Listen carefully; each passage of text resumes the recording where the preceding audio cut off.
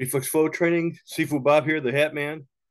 Just a little little bit of afternoon jamming. Hope you enjoy this. Remember, Ukraine still needs our support, so donate if you can. Uh, remember to donate blood. There's a shortage in this country. You can actually be a hero and save lives. And always uh, speak out against racism and hate. Don't need that in this country. Okay, here we go.